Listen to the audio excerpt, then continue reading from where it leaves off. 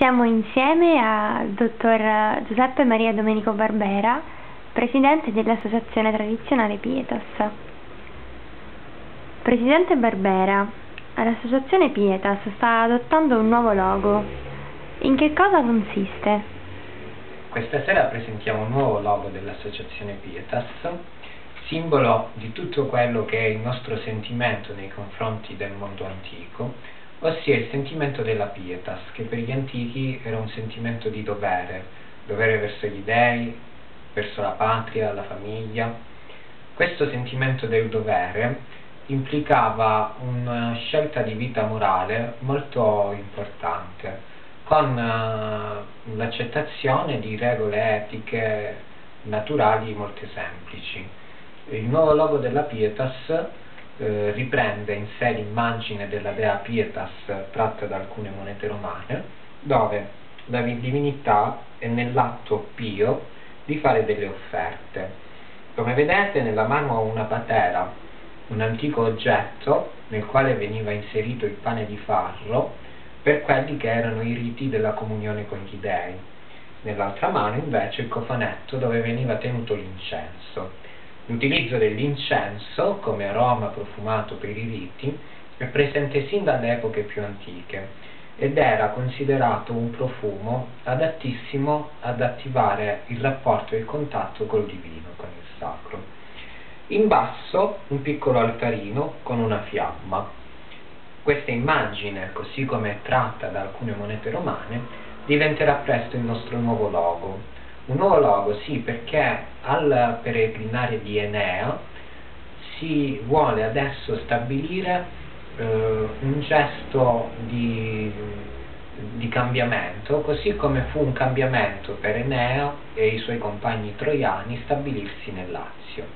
Ecco, da oggi la Pietas trova una sua nuova stabilità. L'associazione ha così scelto questo nuovo logo che meglio manifesta il suo rapporto con il sacro la caratteristica della nostra associazione di studi sulla sacralità del mondo antico, sulle divinità, sulla mitologia, sulla filosofia greca e romana, su quello che era il significato del mito letto in maniera esoterica come ci insegna Socrate. E così anche l'approccio matematico alla vita di tutti i giorni, così come vivevano gli antichi romani, leggendo in ogni movimento del quotidiano un movimento del sacro, un messaggio del pan.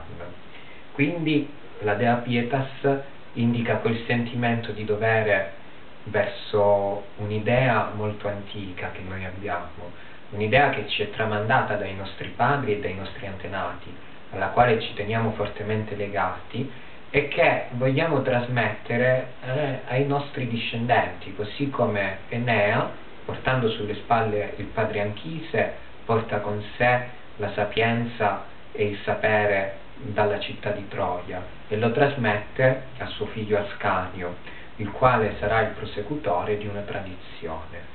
Nel centro del vecchio logo vi era il Palladio, la dea Minerva che rappresenta la via della sapienza, quindi la ricerca del sapere, sapere tramite gli studi scientifici, filosofici e altro ancora, così come veniva fatto nel modo antico, e ancor più noi vogliamo ribadire questo senso di dovere verso lo studio delle nostre tradizioni anche con la dea Pietas.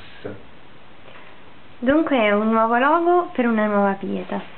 Sì, l'associazione da oggi inizierà tantissime nuove attività, con eh, presto avremo un nuovo forum, eh, tantissime iniziative che, alle quali sarà possibile aderire da tutta Italia eh, continueremo come abbiamo fatto fino ad oggi a creare sempre più delle realtà territoriali affinché la Pietas possa divenire una presenza nazionale che possa eh, continuare a sensibilizzare la gente su quelli che erano i temi del mondo antico, della sacralità, dell'approccio verso il mondo quotidiano eh, affrontati con un'ottica diversa da quella del semplice studio scolastico, perché sappiamo bene che sin da bambini veniamo educati ad una visione del mondo antico ma oggi le ricerche archeologiche e storiche dimostrano che la nostra visione degli antichi è limitatissima,